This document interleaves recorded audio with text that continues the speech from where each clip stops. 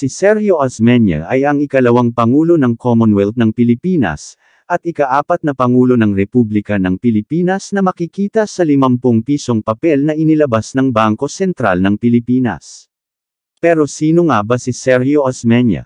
Isinilang si Sergio Osmeña noong ikasyam ng Setyembre taong 1878 sa lungsod ng Cebu. Ang kanyang ama ay si Pedro Ligo Shioco, isang mayamang negosyante at ang kanyang ina ay si Juana Osmeña Isuso. Sa edad na lima, siya ay nag-aral sa isang pribadong paaralan sa ilalim ng pangangalaga ni Martin Medola.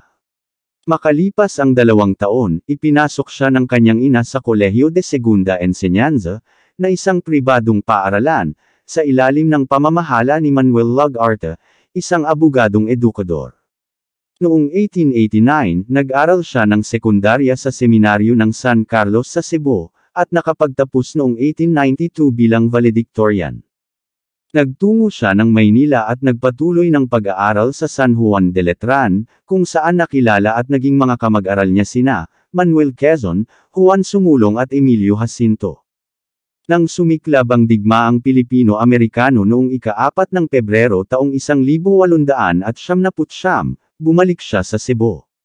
Ipinadala siya ng lokal na liderato ng Cebu para ibalita kay Emilio Aguinaldo ang sitwasyon sa Cebu.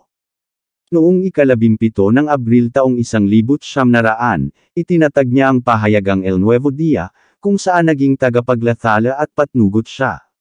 Naging katulong niya rito sina, Rafael Palma at Jaime C. de Vera. Tayunin nitong mapalaganap ang nasyonalismo. Nagsara ito taong isang libo siyam naraan at tatlo.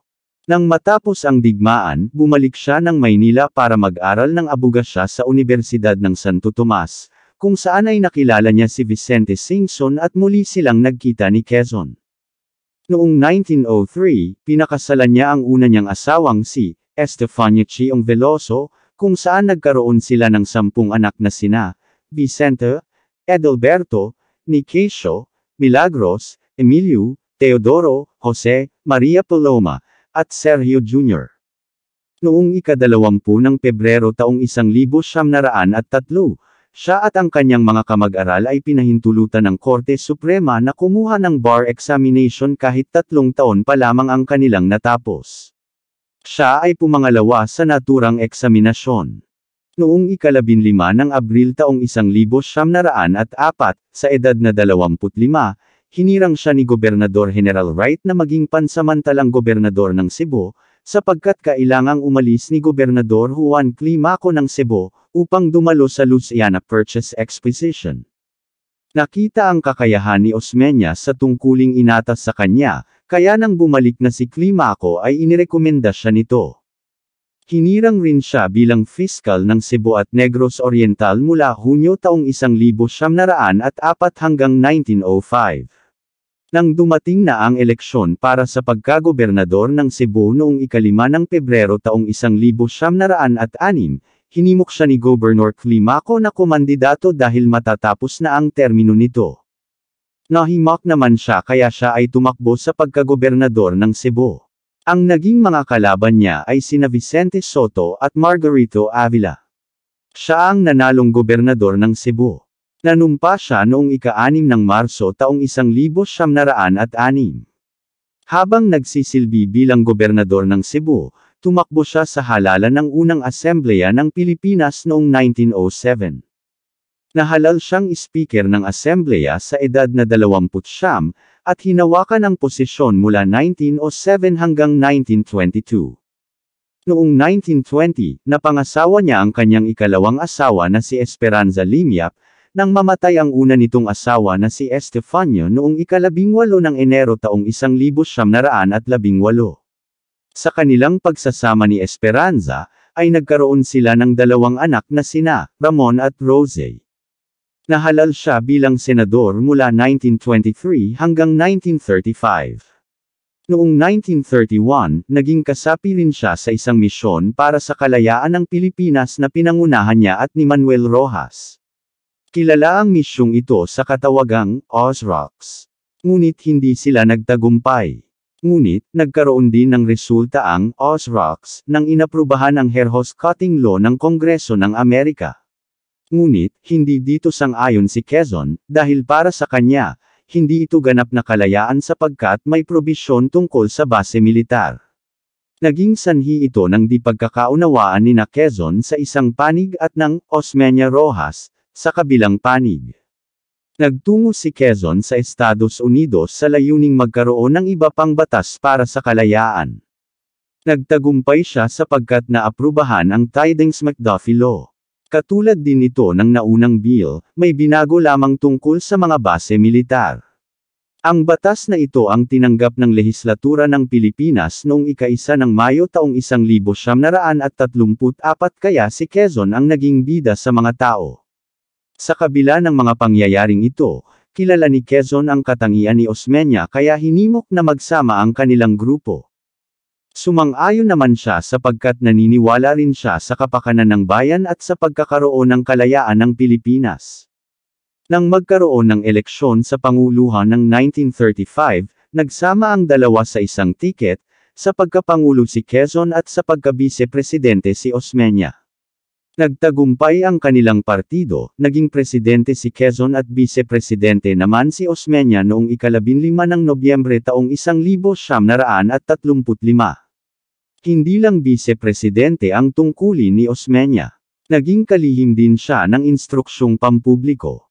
Siya ang unang Pilipinong humawak ng katungkulan sa edukasyon.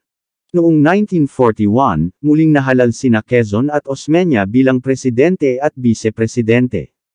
Sa hindi inaasahang pangyayari, sumiklab ang ikalawang digmaang pandaigdig at sinakop ng mga Hapon ang Pilipinas. Noong ikadalawamput-apat ng Disyembre taong 1941, lumikas siya kasama ni Quezon patungo sa Estados Unidos. Noong 1942, may kalubhaan na ang sakit ni Quezon kaya siya ang pansamantalang gumanap ng tungkulin ni Quezon sa mga okasyon. Siya ang dumalo sa Pacific War Council. Ginagamit nila ang radio upang mabuhay ang loob ng mga nasa Pilipinas. Pinalitan niya bilang Pangulo si Quezon nang mamatay ito sa sakit na tuberculosis noong ika-isa ng Agosto taong 1944. Nanumpa siya noong araw ding iyon sa harap ng kagawad na hukom Robert H. Jackson sa kataas-taasang hukuman ng Estados Unidos. Bumalik siya sa Pilipinas kasama ang partido ni General Douglas MacArthur noong ikadalawampu ng Oktubre taong 1944. Siya ang humarap sa lahat ng mga nagpapahirap sa problemang idinulot ng digmaan sa Pilipinas. Kailangan ang mga rekonstruksyon ng mga nasirang gusali, daan o tulay. Ngunit para sa mga tao hindi nagampan ng lahat ni Osmeña ang inaasahan sa kanya. Tumakbo siya sa pagkapangulo noong ikadalawamput-tatlo ng Abril taong 1946. Si Eulogio Rodriguez ang kanyang vice-presidente. Ngunit, natalo siya ni Manuel Rojas. Bilang protocol, sumama pa siya sa bagong halal na Pangulong Rojas nang italaga ito bilang Pangulo ng Pilipinas noong ikadalawamputwalo ng Mayo taong 1946. Pagkatapos ng eleksyon, umuwi siya sa Cebu upang magpahinga. Doon siya nanatili habang siya'y nabubuhay.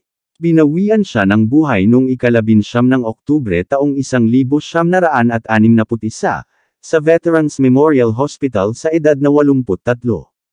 Inilibing ang kanyang mga labi sa Manila North Cemetery na siyang naging himlayan ng labi ni na Rojas at Magsaysay.